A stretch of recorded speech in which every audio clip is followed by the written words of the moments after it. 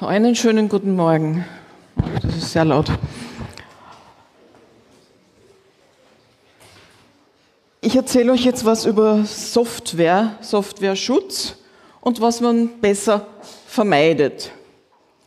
Ich weiß, die Linux-Community, wir haben uns alle sehr lieb und alles gehört jedem und wir teilen. Das kann ganz bös nach hinten losgehen, auch wenn man nichts tut, sich nichts überlegt. Software fällt unter verschiedene Schutz- oder Nichtschutzvorrichtungen. Und zwar mal unter das Urheberrecht. Das ist ganz tückisch.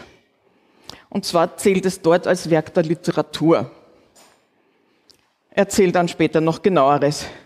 Es gibt Patente bzw. Gebrauchsmuster, Computer Implemented Inventions, das erzähle ich auch noch, und dann gibt es CC-Lizenzen.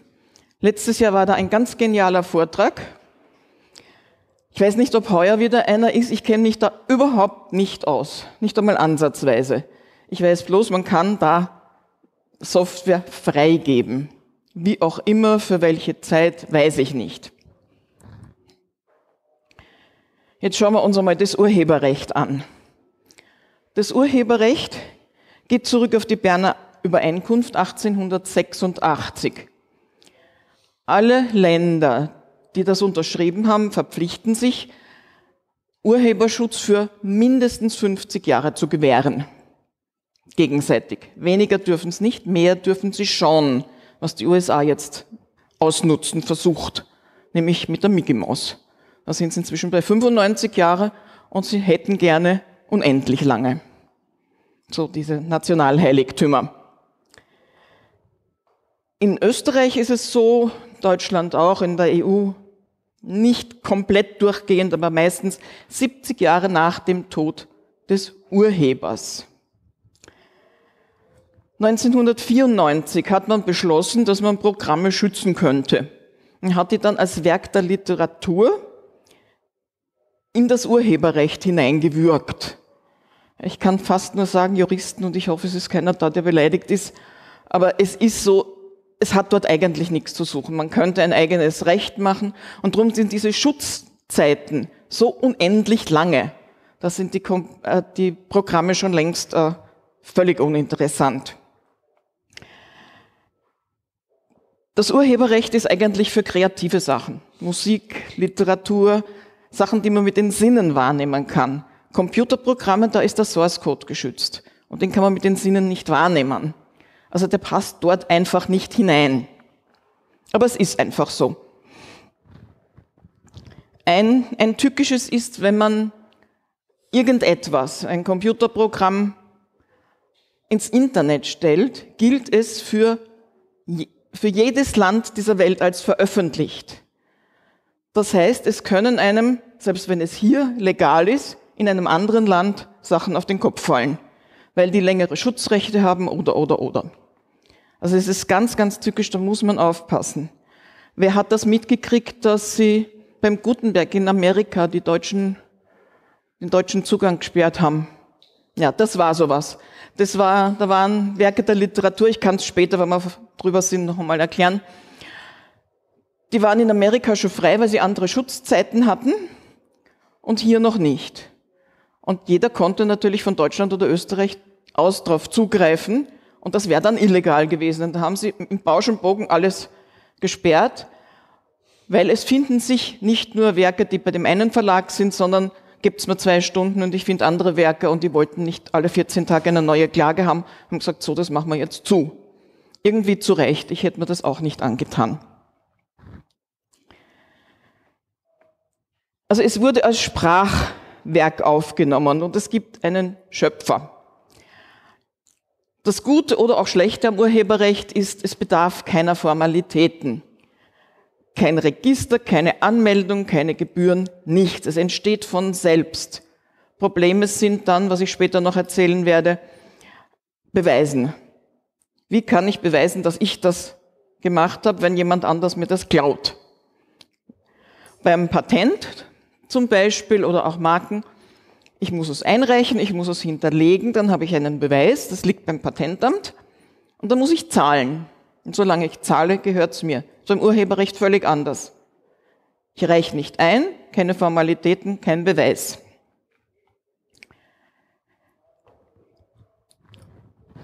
Jetzt schauen wir uns einmal die Schutzzeiten an. Der Schöpfer, steht so im Gesetz, macht irgendein Programm. Egal wie lang er lebt, ab dem Zeitpunkt, wo er stirbt, ist es noch 70 Jahre lang geschützt. Das ist für einen Roman, dass die Erben noch was davon kriegen oder für Musik auch ein bisschen lang, aber soll sein. Aber für Computerprogramme sind das unnötig lange Schutzzeiten. Und da gibt es also noch andere Probleme.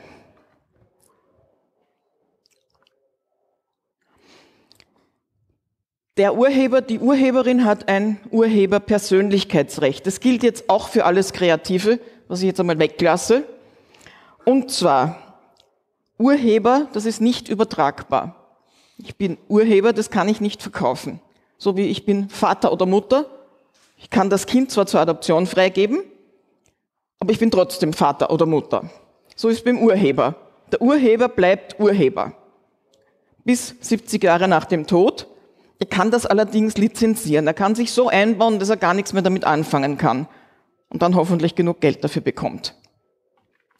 Das ist also nicht übertragbar. Er kann es allerdings einklagen wenn jemand irgendetwas widerrechtlich entnimmt. Schauen wir mal, ob es Beweis gibt.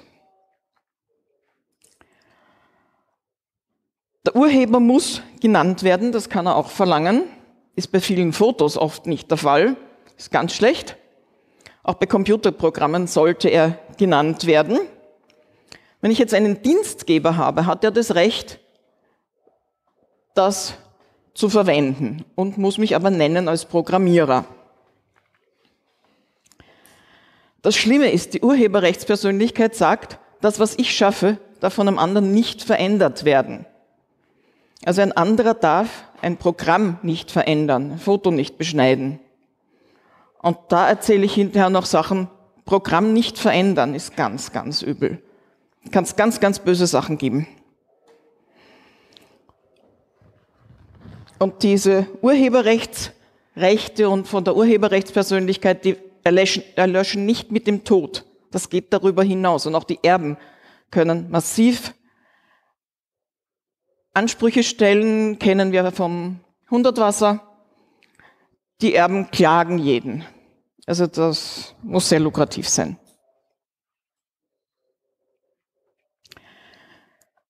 Bei den Urhebern ist zu unterscheiden Miturheber und Teilurheber.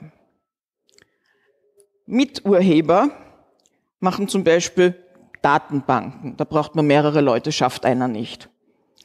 Oder Computerprogramme. Wenn das große Programme sind, sitzen da mehrere Computerleute äh, oder Programmierer dran. Miturheber sind solche, die ein Werk schaffen, was man wo man die einzelnen Teile nicht separat verwenden kann. Also einzelne Teile eines Programmes kann man nicht separat verkaufen. Das gehört zusammen und das ist ein Teil. Oder bei einer Datenbank. Das kann man jetzt nicht einzeln verkaufen. Das gehört, ist ein Stück und das sind Miturheber. Teilurheber sind zum Beispiel bei einer Oper. Ich habe den Text und die Musik und ich könnte die theoretisch separat verkaufen. Also alles, was man separat verkaufen kann, sind Teilurheber und alles, was man nicht separieren kann, sind Miturheber. Das ist meistens bei Programmen der Fall. Bei Miturhebern muss jeder der Beteiligten einverstanden sein, wenn das irgendwie lizenziert wird. Und es gilt bis 70 Jahre nach dem Tod des allerletzten. Also nicht der Erste, der stirbt, sondern der Letzte, der stirbt, gibt das Ende der Frist vor. Miturheber waren zum Beispiel Hundertwasser und der Architekt Gravina. Die haben also mehrere Instanzen gestritten, weil der Architekt hat gesagt, ja, der Hundertwasser hätte das Haus ohne mich gar nicht bauen können, weil. Und er hat mehrere Sachen gewonnen und hat auch jetzt Anspruch auf die Postkarten und so, die vertrieben werden, kriegt er einen Teil als Miturheber dieses Gebäudes. Bei Sammelwerken, wenn jeder über einen anderen Maler oder über einen anderen Komponisten schreibt, könnte man das auch noch getrennt verwerten. Das wären dann unter Umständen nur Teilurheber. Das muss man sich dann im Einzelnen anschauen. Jetzt schauen wir uns den Softwareschutz einmal an. Was ist möglich? Also das Erste, der Urheber, der stirbt irgendwann. Wie lang diese Frist ist, ist egal. Und am 1.1. des darauf folgenden Jahres beginnt diese 70 Jahre Frist.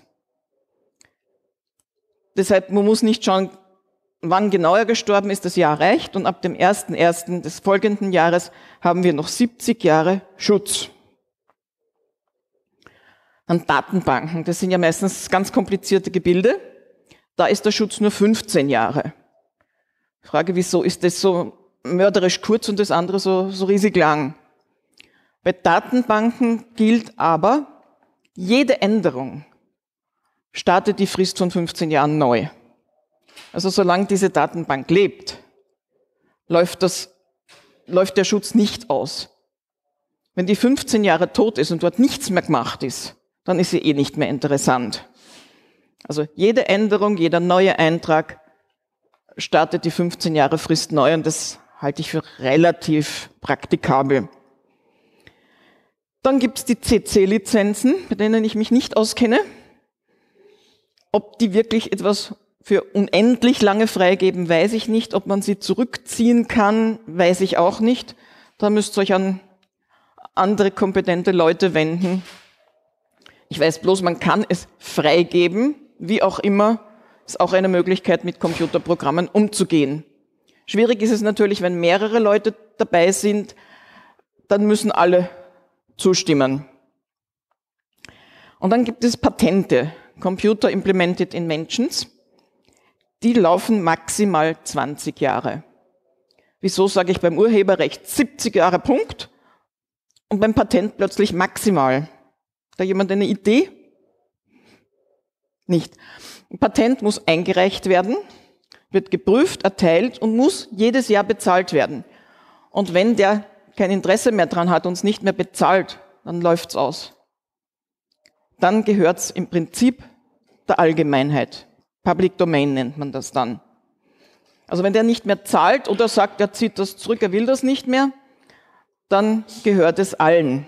Ist aber bei Softwareschutz relativ problematisch. Drum bei Patenten maximal und es bedarf einer schriftlichen Form. Beim Urheberrecht genau 70 Jahre nach dem Tod und es bedarf keiner Form. So, jetzt haben wir eine freie Mitarbeiterin, einen freien Mitarbeiter.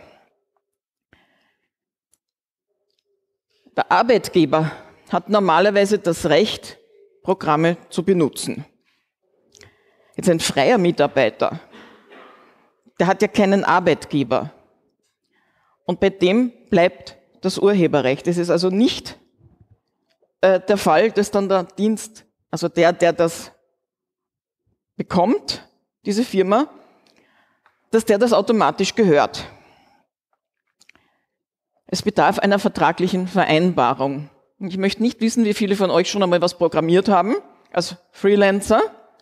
Eine Firma hat das benutzt und es gibt keinerlei Verträge. Das kann ganz bös nach hinten losgehen. Oder ihr habt eine Firma und engagiert irgendjemand, programmieren wir das. Verträge.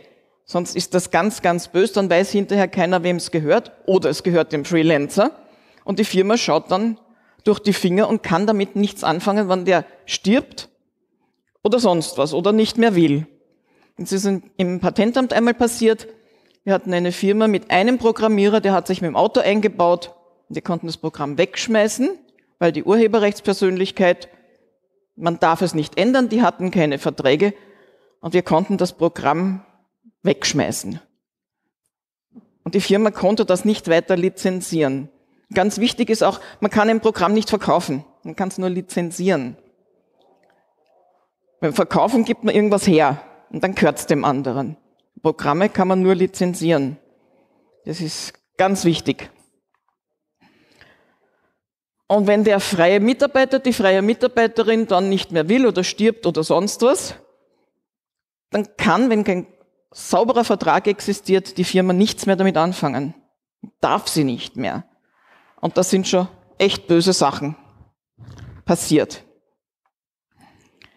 Also wichtig, einen Dienstvertrag, einen Werkvertrag. Wer hat die Nutzungsrechte? Für welche Zeit? Auf fünf Jahre, auf zehn Jahre, für immer? An wie viele andere Firmen darf es lizenziert werden? Ich kann natürlich sagen, du, mein Freelancer, ich darf das ausschließlich verwenden, nur ich, du darfst das nicht weiterverkaufen. Ich krieg's für unendliche Zeiten, dann wird's teuer. Wenn der Freelancer sagt, ich verkaufe das aber auch anderen Firmen, kann es billiger werden. Und das muss alles im Vertrag drinstehen. Und wer von euch den Martin Leirer kennt, der ist bei der IBM, ich weiß nicht, der hat 30 Seiten Vertrag, was er alles darf und was er alles besser nicht darf. Die sind da sehr vorsichtig, aber kleine Firmen sind oft nicht vorsichtig, überlegen sich nichts und das ist irgendwie unter Umständen ganz böse.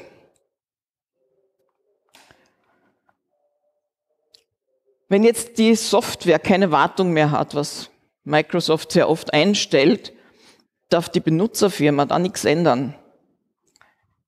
Und es war auch bei dem Jahr 2000 Bug. Die hätten behoben werden können, aber der Benutzer durfte das Programm nicht ändern aufgrund von Urheberrechtssachen.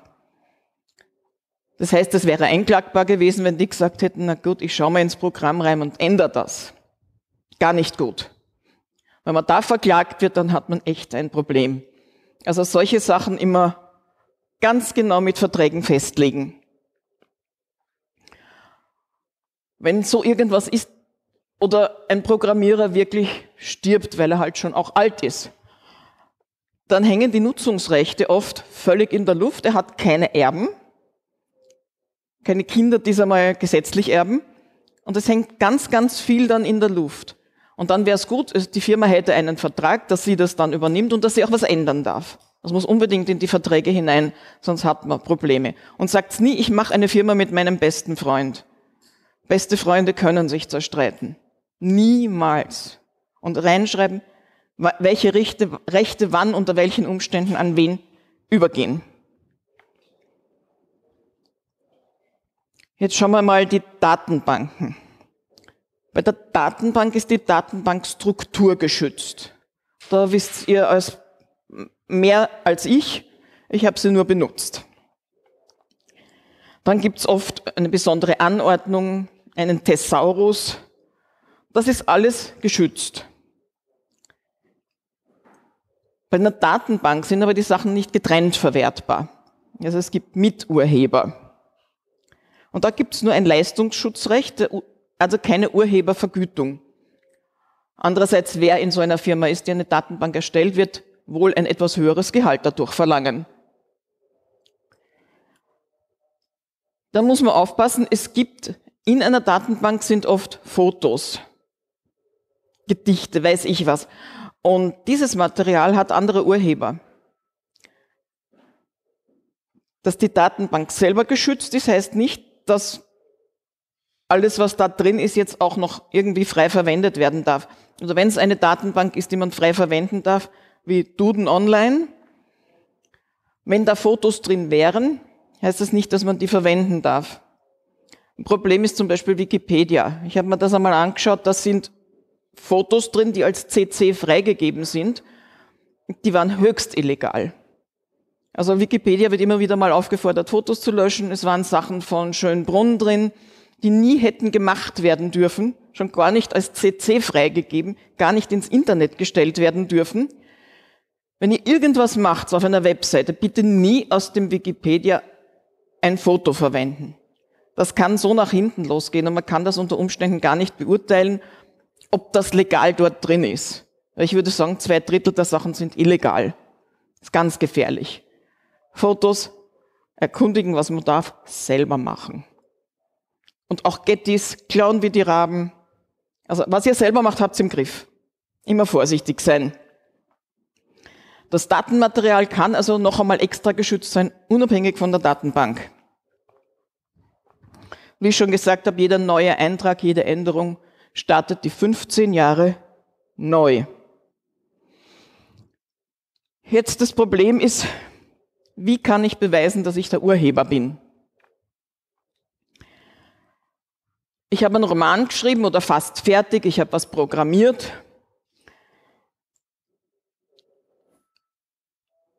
Es gibt da irgendwelche komischen Urheberrechtsregister, das zeige ich dann noch. Die sind ein bisschen schwindlig und ich zeige dann auch warum. Ich muss beweisen können, dass ich früher dran war, dass das mein halber Roman ist, den der gestohlen hat und dann weiterverwendet ist, dass es mein Programm ist. Ganz einfach. Man druckt das aus, macht handschriftliche Bemerkungen, unterschreibt jede Seite einzeln, kopiert das Ganze und schickt das Ganze in einen möglichst versiegelten Brief an sich selbst. Den macht man nicht auf. Die zweite Kopie heftet man drauf, dass man noch weiß, was drin ist.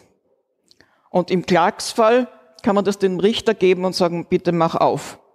Am besten macht man das doppelt und hat ein zweites Exemplar außer Haus, falls das Haus abbrennt. Das passiert nämlich. Patentamt ist mir passiert, dass jemand gekommen ist, kann ich aus meinem Akt Kopien haben, mir ist das Haus abgebrannt.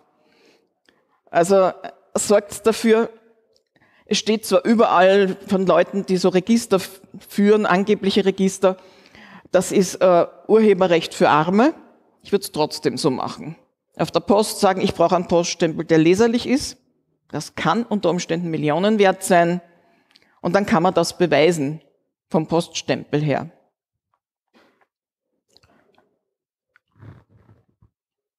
Da habe ich gefunden so ein Urheberrechtsregister.de.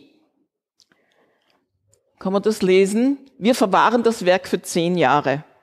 Also ich finde das angesichts der langen Schutzfristen sowieso lächerlich dann, Gott, das ist da so klein, das kann ich da nicht lesen. Sie schicken uns das Werk. Wie?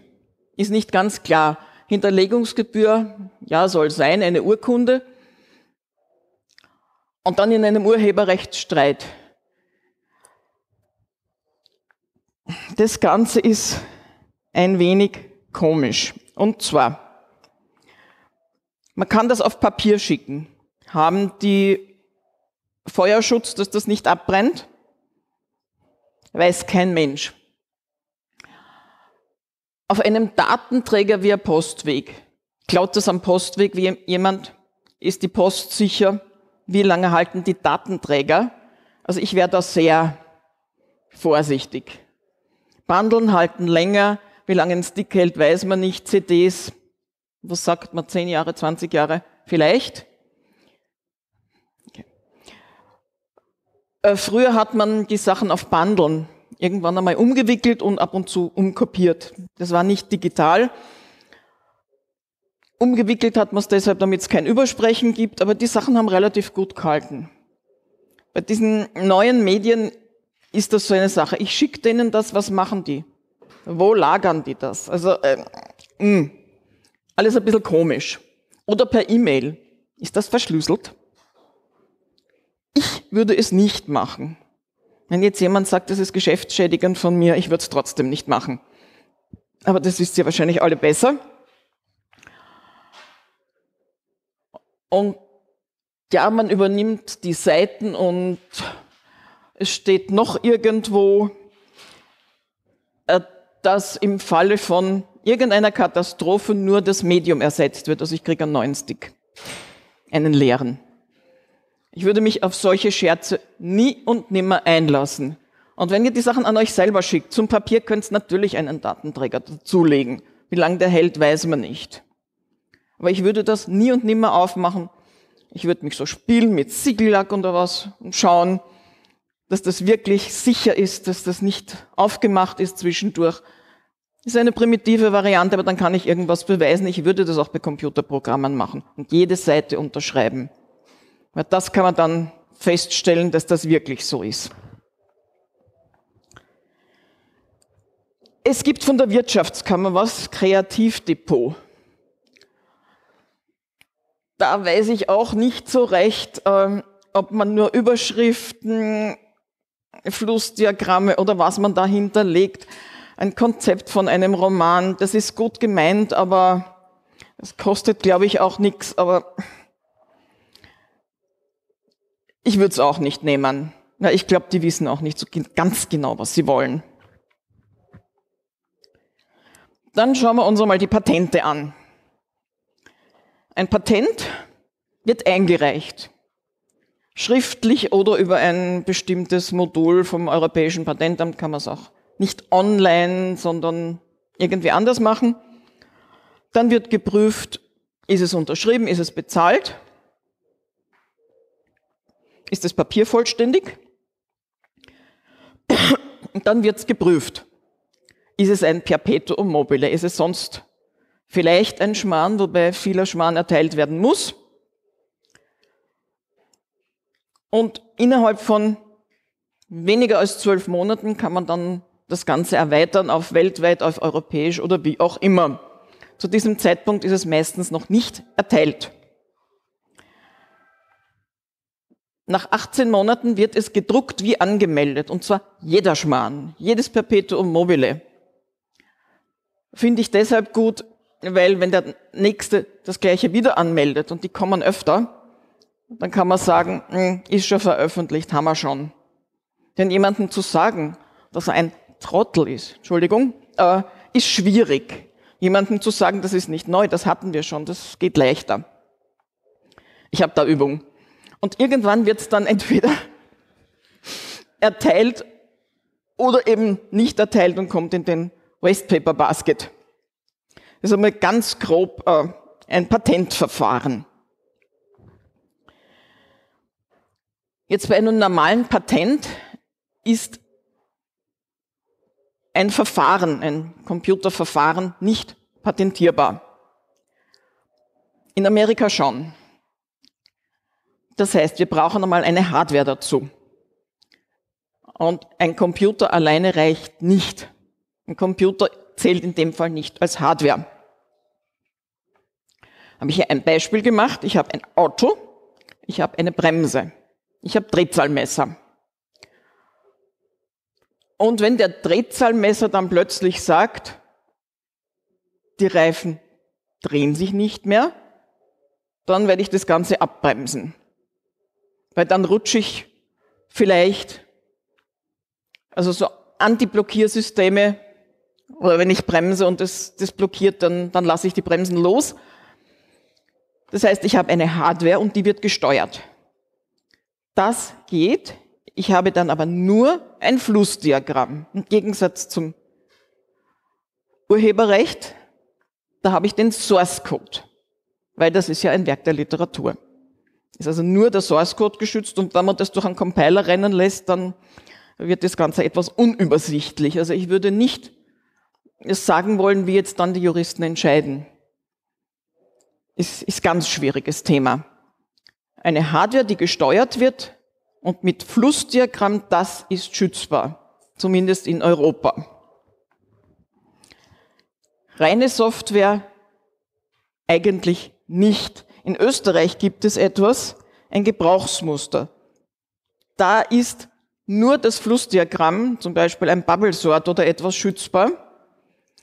Das kann man aber dann nicht erweitern auf ein europäisches Patent, weil dort gilt das nicht und mit nur einem österreichischen Schutz habe nichts. Also solche Sachen würde ich in Österreich, in Europa lassen. Wenn ich allerdings das Ganze nach USA mache, kann ich es in Österreich anmelden, wird nicht erteilt, aber ich kann das dann abzweigen und sagen, ich erweitere das auf die USA und das Österreichische wird halt nicht erteilt. Was man halt will oder braucht. Gebrauchsmuster wird geschaut, ist es unterschrieben und bezahlt. Und dann macht man eine Neuheitsrecherche. Ist bei Computerprogrammen ganz schwierig. Das Einzige, eine Kollegin hat einmal irgendein Codierverfahren und das hatte sie, ja, das habe ich als Kind mal gelesen in irgendeinem Zwergbumsti-Heftel. Das hat sie gefunden und hat das dann abgelehnt. Und sagt, dieses Verfahren ist nicht mehr neu. Ist aber selten, dass man sowas findet. Und die meisten, die dann so registriert werden, das sind halt nicht haltbar. Und wenn jemand dann einklagt und sagt, das hätte nicht erteilt werden dürfen, weil das war nicht mehr neu, dann ist es halt weg. Und dann ist die Frage, was ist mit Lizenzen? Müssen die zurückgezahlt werden? Ganz bös. Also reine Computerprogramme, ausschließlich Computerprogramme, würde ich sagen, lasst die Hände davon. Steuerung von irgendwelcher Hardware, selbstverständlich. Dann schauen wir uns noch einmal die Unterschiede an. Also die CC-Lizenzen sind weg. Noch einmal, ich kenne mich nicht aus. Unterschiede zwischen Urheberrecht und Patent. Gebrauchsmuster ist auch nicht wirklich zu empfehlen. Das wollte der damalige Präsident, das war irgendwie nicht so ganz toll. Also ich fange jetzt an mit dem Patent. Das ist geschützt, solange ich bezahle, beziehungsweise maximal 20 Jahre. Was passiert, wenn diese Schutzfrist aus ist? Wem gehört's dann? Keine Ideen? Ja, eben nicht. Genau das ist der Fehler. Beim Patent, normalerweise, wenn das ausläuft, gehört es der Allgemeinheit, ja. Aber das fällt zurück aufs Urheberrecht. Das gilt ja gleichzeitig. Das, also nur weil das Patent jetzt ausgelaufen ist, gehört es noch lang nicht der Allgemeinheit, weil das Urheberrecht bleibt länger bestehen. Weil wurscht, wann der stirbt, die 20 Jahre sind auf jeden Fall kürzer als diese 70 Jahre nach dem Tod. Da muss man ganz deutlich aufpassen. Es sind beide Rechte, die bestehen und wenn das Patent aus ist, bleibt das Urheberrecht trotzdem übrig. Ob ein Patent verwertbar ist, das ist nicht die Frage. Es gibt so viele Patente, die nicht verwertbar sind, aus tausend Gründen, weil der Mensch kein Marketing hat, niemanden, der es ihm abkauft, weil er ungeschickt ist, was keinen interessiert.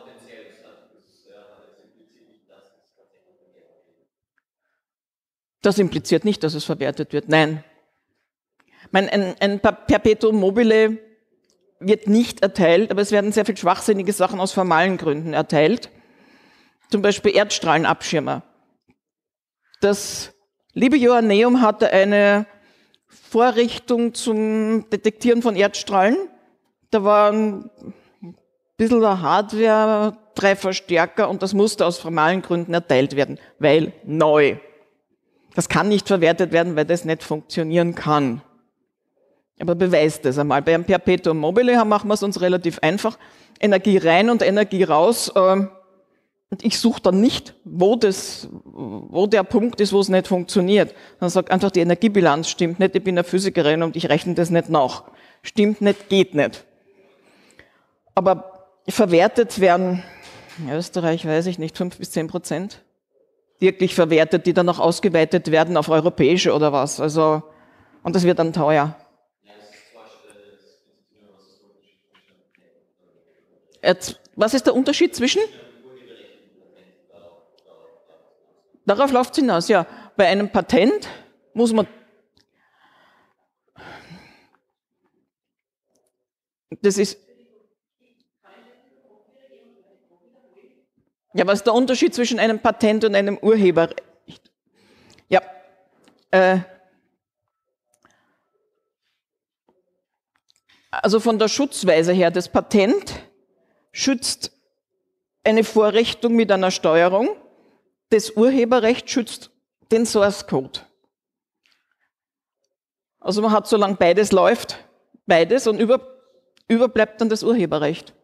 Auf relativ lange Zeit, die nicht unbedingt gerechtfertigt ist.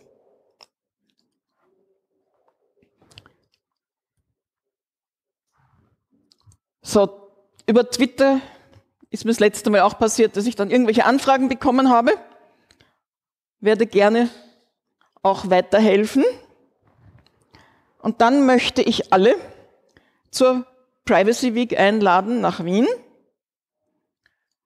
Es können jetzt Vorträge eingereicht werden. Die liebe Eva hat das schöne Plakat gemacht. Ja, sei nicht so bescheiden, du hast das super gemacht. Und ihr könnt unter Privacy Week überhaupt schauen, was war in den vergangenen Jahren.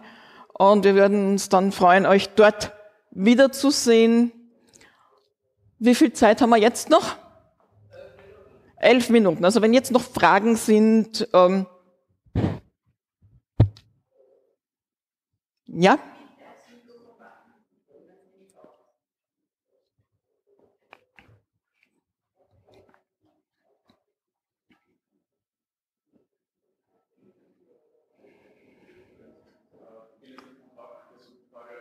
Ich verstehe kein Wort, Entschuldigung.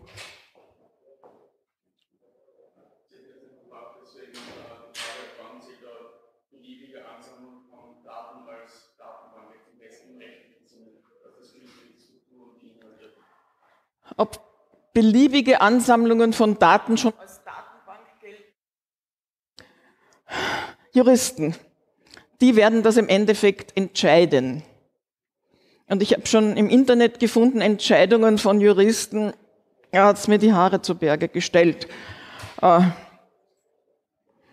wenn man es als Datenbank deklariert, eher ja, wenn man es nicht deklariert, hängt das sehr davon ab, wie viel der Jurist versteht. Ist leider so. Gut, dann kann ich vielleicht noch erzählen, wie das war mit dem, wenn nicht noch Fragen sind. Ja? Ich wiederhole die Frage. Ähm, Sie haben gesagt, dass man ähm, seinen Source Code an sich selber schickt, ausgedruckt. Das ist aber so, dass man eigentlich in der Praxis jeden Tag oft den Source Code verändert. Ja, also man soll den. Bitte? Dass man den Source Code an sich selber schickt, wie praktikabel das ist. Ich würde immer mal wieder einen Teil ausdrucken, unterschreiben und an mich oder die Firma schicken Einfach damit man wenigstens einen Teil beweisen kann. Bei Romanen ist es vielleicht noch wichtig oder Flussdiagramme oder irgendwas, dass man wenigstens ein bisschen was beweisen kann.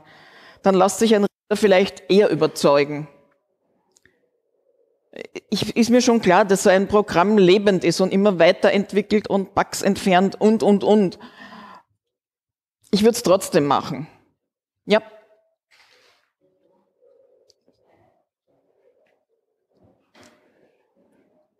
Ist nur, nur ein bisschen, bisschen lauter bitte.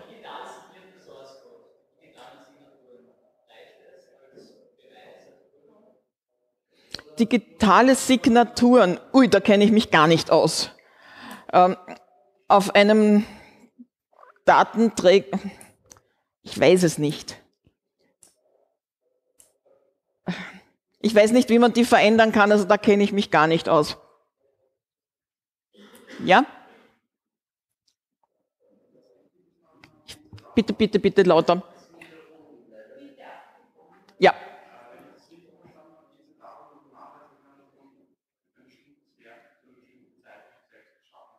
Es geht darum, dass man beweisen kann, dass man zu einem bestimmten Zeitpunkt das Werk geschaffen hat. Und zwar unter Umständen der Beweis, dass man früher als jemand, der das geklaut hat oder einen Teil davon geklaut hat. Also es geht darum, wann habe ich das geschaffen und das beweisen zu können, dass ich eben früher war. Beim Patent ist das einfach. Da ist es eingereicht und hat einen Stempel vom Patentamt. Bei einem Programm, was ich mache, ist es ganz, ganz schwierig. Wenn ich es schon aufs Papier bringe, habe ich es ja schon geschöpft, gemacht, erfunden.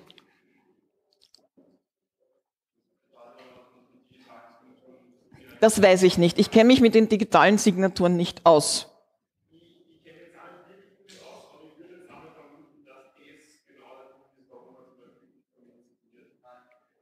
Äh, äh, ich weiß ja nicht, ob, also, dass das der Grund ist, dass man das signiert, ja, aber ich weiß nicht, wie das funktioniert. Ob das dann im Computer nachvollziehbar ist, dass dieser Teil zu diesem Zeitpunkt schon vorhanden war und dass der Rest später programmiert wurde. Das kann ich mir nicht gut vorstellen, ich kenne mich überhaupt nicht aus. Ja? Wie wichtig ist es, eventuell gewisse Zwischenschritte gelaufen beweisen zu können, damit, dann jemand sagt, okay, vielleicht die Quelle nicht feststellen, du hast es alles, alles probiert, weil gestern war es nicht da und heute ist es da. Also Zwischenschritte ist es wichtig, die zu dokumentieren? Ich würde sagen, ja. Gerade bei Programmen. Bei einem Roman kann man natürlich den ganzen Aufbau schon haben. Manche schreiben so los, aber viele nicht. Da kann man das Konzept. Aber bei Programmen, Zwischenschritte, ich würde es machen. Und diese, äh, es gibt auch ein Urheberrechtsregister AT. Das ist überhaupt nur eine reservierte Seite von nichts. Es wird behauptet, das Justizministerium habe eine Registrierungsmöglichkeit. Das hat man irgendwie vor vielen Jahren einmal versucht, da konnte man aber nur Titel oder irgendwas äh, hinterlegen. Ja, was soll das? Da fange ich nichts mit an.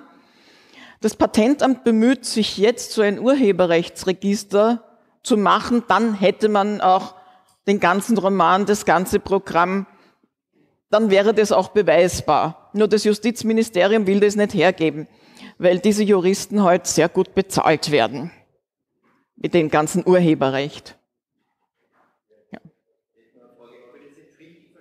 das Urheberrecht wirklich auf den Text geht, nicht auf das logische Konstrukt, und ich habe jetzt ein Programm in Python geschrieben und jemand schreibt dasselbe Programm in Java. Naja, das. Äh, also das Urheberrecht schützt den Source Code. Wenn ich das in einem anderen Programm, äh, in einem anderen, also wenn ich es durch einen Compiler laufen lasse, weiß ich nicht, was die Juristen sagen. Es ist aber möglich, wenn ich den Source Code nehme, ein Reverse Engineering mache und das eine andere Gruppe einfach von den Funktionen her nachprogrammieren lasse. Das geht. Beim Patent ist das, das Flussdiagramm geschützt. Da ist das Nachprogrammieren mit Reverse Engineering dann nicht mehr. Aber beim reinen Urheberrecht kann man das machen dass man zwei Gruppen hat. Der einen sagt, das steht im Source Code drin und zwar nicht was, sondern wie das funktioniert und das in irgendeiner Sprache nachprogrammieren äh, lässt. Ja, das ist auch ein wesentlicher Unterschied.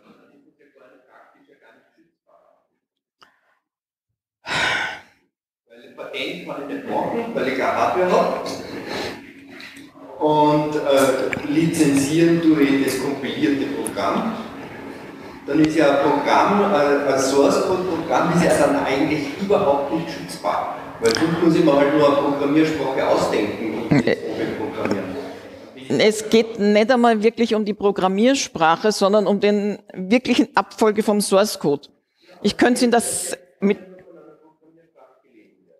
Schon, aber ich könnte das ja mit Reverse Engineering in derselben Sprache anders nachprogrammieren. Eben. Also da liegt der Teufel im Detail und ob das alles ausjudiziert ist, weiß ich nicht. Aber ich halte das alles, alles für sehr slippery. Äh, ja, das Urheberrecht ist ein Hund. Was hat das für rechtliche Implikationen, wenn eine Firma jetzt Software veröffentlicht, aber nicht unter Lizenz steht? Das, äh, welche Implikationen das hat, wenn eine Firma die Software veröffentlicht es greift einmal das Urheberrecht. So wie wenn ich ein Foto veröffentliche oder was. Das gehört dem Urheber. Wenn nicht eine CC-Lizenz ist, nein. Darf nicht verwendet werden. Nur wenn eine CC-Lizenz ist, dass der das freigibt. Dann darf es verwendet werden. Nur weil jemand sagt, schaut, ich habe das programmiert oder schaut, ich habe das Foto gemacht oder was, darf das jemand anderer nicht verwenden. und ein Python-Skript und das kopiere. Aber wenn ich den logischen Teil jetzt in Java nachprogrammiere oder. Das ist. Ja, also. Zum Beispiel Beispiel. Es gibt mir viele Firmen, so, so Chip-Hersteller, äh, die machen einfach Beispielcode für ihre Chips, nicht? die stellen sie dann online.